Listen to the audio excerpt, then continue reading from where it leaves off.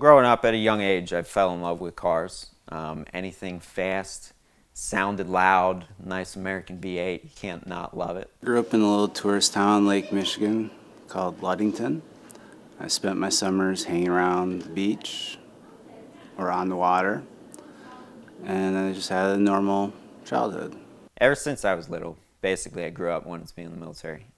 Growing up, I always looked up to uh, people in the military, had a certain respect for them and their commitment. April 12th, 2009, I was uh, just driving around Iraq and we're just on our way home uh, late, late at night one night and uh, got blown up. Um, instantly lost my arms and legs. 2012, we were in the Kandahar province of Afghanistan doing surveillance when our vehicle hit an IED.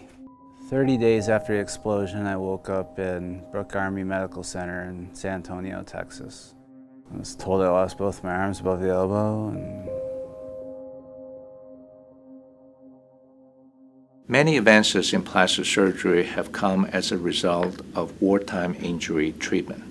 For example, the techniques for skin grafting, the techniques for adjacent tissue transfer were developed or refined from treatments of injuries from World War I and II. The most recent conflicts were no different. The increased incidence of extremity amputations have resulted in transplantation for those brave wounded warriors whose lives have been transformed from the transplantation. Transplantation has developed really to the state of art treatment for patients with end stage organ failure. And it's interesting that the field has started out uh, in plastic and reconstructive surgery with Dr. Joseph Murray being a plastic surgeon and performing the first kidney transplant now more than 60 years ago. So since these early days in transplantation with the development of more powerful and more sophisticated type of immunosuppressive agents, we were able to perform more complex type of transplants over the years, including liver transplants, pancreas transplants, intestinal transplants, and most recently, even reconstructive transplants such as hand and, and face transplants. The end goal of a transplant like this is to take somebody who has lost a lot of their independence, lost a lot of their function, and give it back to them. So this kind of a transplant is not a life-saving transplant, but it's a quality of life-saving transplant. And so nobody is going to die without having a hand transplant or an upper extremity transplant. But what we hope to do is give them back the life that they had before the injury or the loss that they experienced. I was just sitting watching basketball. Uh, it was like 10:30 in the morning and got a phone call from Dr. Shores telling me that they might have a match and there was a four o'clock flight I should get on. I felt um, see, overwhelmed, not ready, but uh, excited at the same time. And I got to Baltimore as fast as I could. Potential transplant candidates will undergo a rigorous screening process, which takes about a week. Uh, they'll have blood work done, and then they'll uh, see our surgical team, uh, as well as our hand therapist. Uh, then they will see a, a, host of other medical specialists to get things such as CT scans or have their heart and lung health checked. And then finally, they'll see our psych team, which includes a transplant psychologist or psychiatrist, as well as a social worker to make sure that they have a strong social network available to them when they go home. For a double arm transplant, we start out with four surgical teams working simultaneously with at least three surgeons on each team. Two teams working on the right side, two teams working on the left side, and each team working on either preparation of the recipient arm or the section of the donor hand so we can join them together. At every transplant operation, we have a moment of drama, if you will, when we release the clamps on the blood vessels and let the blood flow into the transplanted hand. Everyone in the operating room holds his or her breath because you can literally watch blood flowing into the transplanted hand and the skin color of the hand turning from pale white to a nice pink.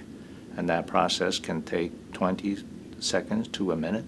It's usually a time that everyone watches very closely. You will hear no talking in the operating room at that time. The first little movements there were were, you know, a month or two, probably three, four in that it was just a little a little flicker of a, a, a finger basically because you you have you, your nerves have to grow down into your arm. And, and basically as they would grow you get more and more function. And it's it's extremely exciting to watch happen because years of my life have been leading up to the arm transplant. And to finally see it happen and then start to work it's huge. I mean not only for me but for everyone around me so it it's just been exciting when i woke up in the hospital after the injury and was told i lost both my arms i felt i guess hopeless um, depressed. I couldn't think of a reason to go on anymore. Now I feel more hope than I felt in a long time for my future. I have uh, something to shoot for, goals to work towards, and life feels uh, fulfilling. Seeing them progress not only with regards to feeling and, and sensory function, uh, but also with motor function has been just tremendous. Uh, we have seen patients go back to work, we have seen patients go back to school, getting a degree, and really getting back into a productive life. And I think this is what this type of transplant is all about. It's restoring a patient to normalcy. Plastic surgery is really crucial to the functioning of a hospital. Certainly, there's the aspect of the cosmetic part of plastic surgery, but it's also so much more. The reconstruction aspects that allow us to take our patients who have devastating diagnoses and not only cure the underlying pathology, but restore them to a functional status, moving limbs, uh, feeling objects, connecting nerves, blood vessels, skin, all of that together to produce a functioning limb, it's remarkable. It is important for the plastic surgeon to be number one, proficient with all areas in the body, and number two, to really understand how to improve the patient's life. After all, we're not just improving the quality of life, in many times we're transforming the patient's life so they have better outlook, they have better function, they have better forms, so they can be integrated into the society more than they could before. Here I am, you know, I'm, I'm doing well, um, living with my girlfriend, and uh, taking care of myself essentially, and, and that alone just kind of makes you feel good. If all that was to be gained was the, the added quality of life by, you know, being able to take care of yourself, it's worth it, you know, but there's been so many other great benefits to it, which for me are to, to get back into cars, and, which is truly what I love. So it's awesome.